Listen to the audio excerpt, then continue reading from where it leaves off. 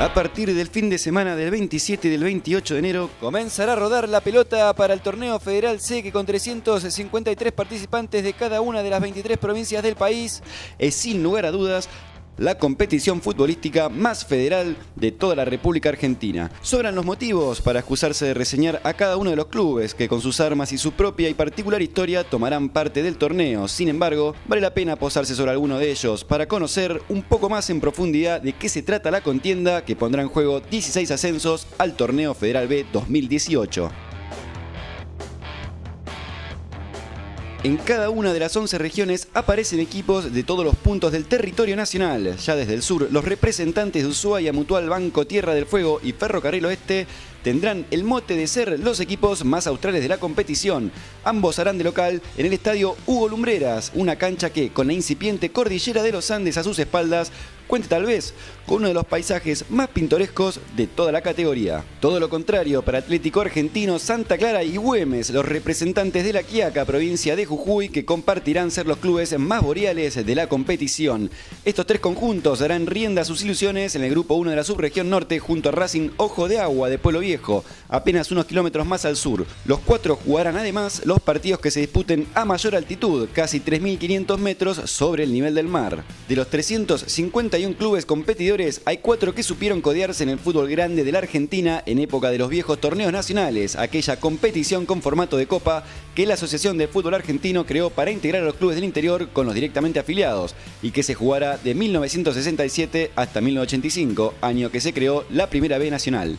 El primero de ellos es Don Orione de Barranqueras, una localidad que forma parte del área metropolitana de Resistencia, la capital de la provincia del Chaco. En 1971, Don Orione se ganó el derecho de participar en el Nacional luego de haber ganado el Regional. Disputó 14 partidos en la primera del fútbol argentino, jugando con grandes como River e Independiente y ganándole a Banfield y Huracán de Parque Patricios. Bartolomé Mitre de Posadas, la capital de Misiones, formó parte en dos ocasiones de los nacionales. La primera en 1972, luego de haberle ganado en el Regional la plaza por penales a Estrada de Formosa y la segunda en el 75 tras dejar en el camino a Atlético Uruguay de Concepción del Uruguay. Entre ambas experiencias el club posadeño sumó 29 presentaciones en las cuales solo pudo ganar una vez, 2 a 1 a Rosario Central como local en el 72. Mitre también tuvo el honor de enfrentar a alguno de los grandes, perdió 3 a 1 ante San Lorenzo en el mítico gasómetro, fue goleado 7 a 1 por River en Posadas y 5 a 0 por Independiente Avellaneda en la edición del 72, mientras que en el 75 también fue vapuleado 6 a 1 por Racing en el cilindro. Atlético Regina de la provincia de Río Negro participó de la edición de 1974 gracias a la conquista del regional clasificatorio el mismo año, en donde se consagró tras vencer en la final a Huracán de Comodoro Rivadavia. Regina terminó séptimo de nueve equipos en su zona, grupo en el que se enfrentó con dos de los cinco grandes, San Lorenzo de Almagro, a la postre campeón de aquella edición, y el Racing Club de Avellaneda. El cuarto conjunto que tiene el privilegio de figurar en la tabla histórica de la primera división es Andino Sport Club de La Rioja, que en 1983 le ganó la Plaza Estudiantes de San Luis con algo de fútbol y mucho de azar. Tras empate en el resultado global, se decidió tirar una moneda para dirimir la justa. Esta llamativa manera de desempatar benefició a los riojanos, que luego durante la competición nacional compartieron grupo con River Plate, Nueva Chicago y Loma Negra de Olavarría. La única victoria, en medio de otras cinco derrotas, se transformó doblemente en histórica, por ser justamente la única y por sobre todo por haber sido obtenida ante River por 2 a 1 en La Rioja. La categoría también contará con el arribo de jugadores de vasta experiencia en la primera división. Gastón César, por caso arquero que supo defender la valla de Racing, Vélez y River, entre otros, y de último paso por Villa San Carlos, tomó la decisión a sus 44 años de defender los colores de Atlético Chascomús. Con 38 años y campeón de la Copa Sudamericana con Arsenal de Sarandí en 2007, Javier Jacuzzi integrará las filas de Somisa, equipo de San Nicolás.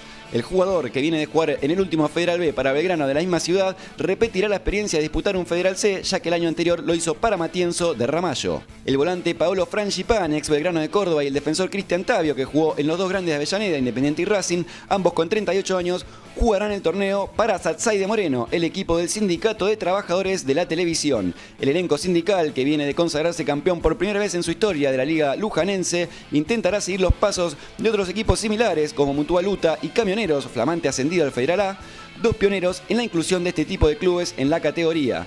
Satsai jugará al Federal C por segundo año consecutivo. En 2017 llegó hasta la segunda fase de los playoffs, instancia en la que fue eliminado por Sports de Salto. Uno de sus rivales de este año es otro de esos clubes que, sin menospreciar a los otros, merecen ser reseñados. El Fernando Cáceres Fútbol Club, fundado por el mismísimo ex zaguero que jugó la Copa del Mundo de 1994 para el seleccionado argentino y que en 2009 debió luchar por su vida tras ser herido gravemente de bala durante un robo.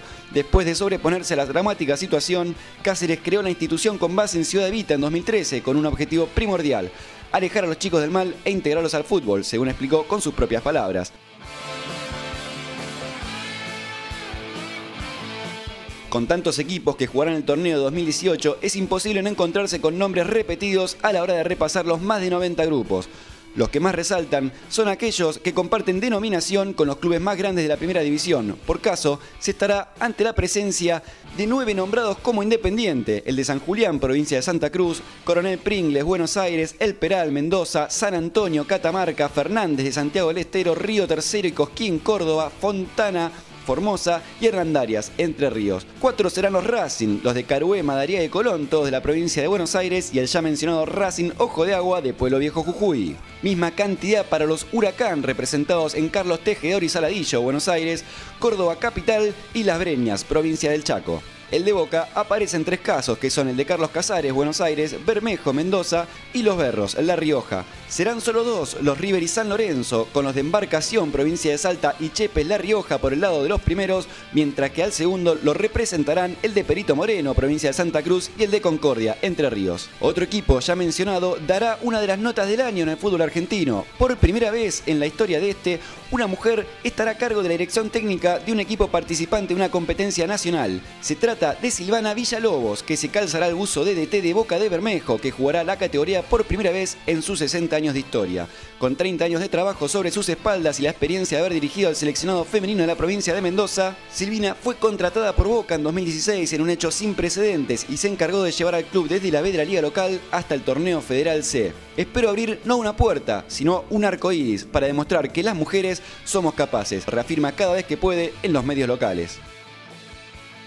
A menos de una semana para el inicio de la contienda, el Federal C ha dado sobradas muestras para ser catalogado como uno de los certámenes más atrapantes del país. 353 equipos irán en busca de los preciados 16 ascensos al Federal B.